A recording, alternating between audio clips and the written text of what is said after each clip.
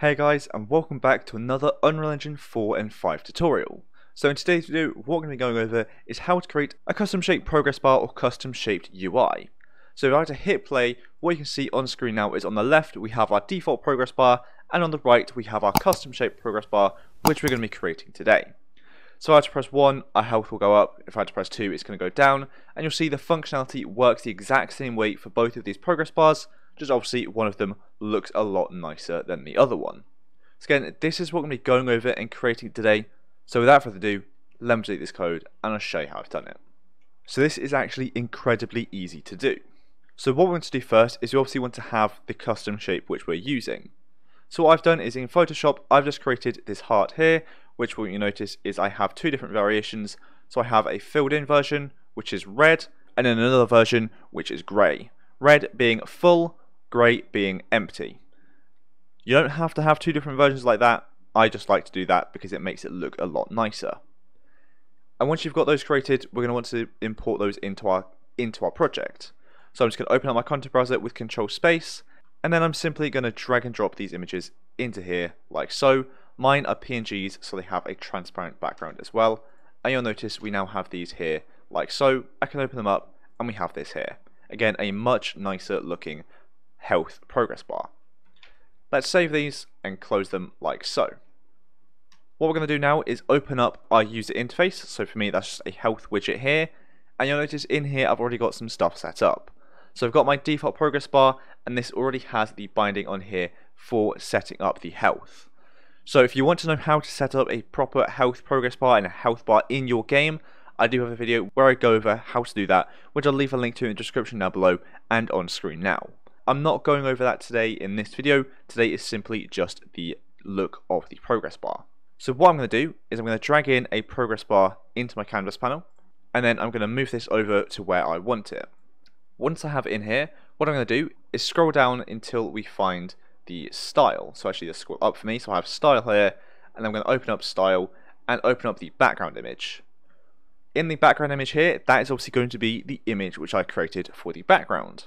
So if I were to open up this and search for health or heart, sorry, I've got heart empty. That's the background, so it's the empty version. And you'll notice the image size is 164 by 152. So I'm going to set the size of my progress bar to be 164 by 152. And that now looks perfect like so. Obviously it doesn't have to be the same size, but if you do keep the same size or at least proportionate to the same size, it's going to look perfect for you. Then I'm going to scroll down and then change the fill image to do the same thing. So heart fill like so. Now you notice this just is only showing the empty version. If we scroll down even further, we can increase the percent here and notice this is now filling up. However, it doesn't look perfect, so it's all black and that little white streak there is blue. The reason being for that is if we scroll down, the fill color opacity is by default blue. We want to just set that to be white. If you set it to white, that is then going to use the colors you've already inputted onto your image. For example, I've got the red and gray here, like so. So this is now our custom shape progress bar. It's that simple to set it up. And obviously I'm also just going to go in the percent, bind, and use my get percent bind here. So it's actually going to use my health. But again, it is that simple to use a custom shape for your UI and for your progress bar. We've turned it from this basic, boring looking rectangle into this nice, lovely shaped heart, which is also easier to just signify this is health. So obviously the red is a good indicator, but what you might need to do is write health above this one so you do definitely know, whereas this, you do know this is for health as it is a heart. So if we compile, save that, minimize and hit play, what we can see is we've now again got our progress bar up in the top left and top right, one looking a lot nicer than the other. Pressing 1 will increase my health, and 2 will decrease it. Again, this works perfectly for both of them. The functionality is the exact same. You'll notice the percent is filled the same way for both of these.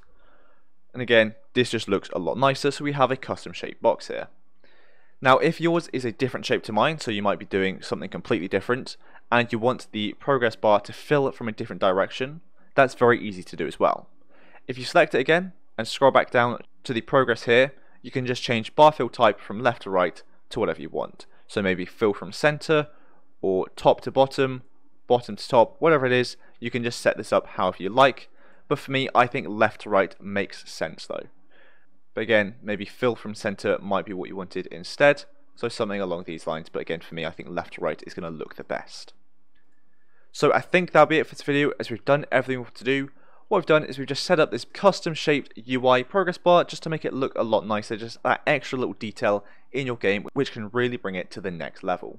So thanks so much for watching this video. I hope you enjoyed it and I hope you found it helpful. And if you did, please do make sure to like subscribe down below as it really does help me and the channel a lot. So again, thanks so much for watching and I'll see you in the next one.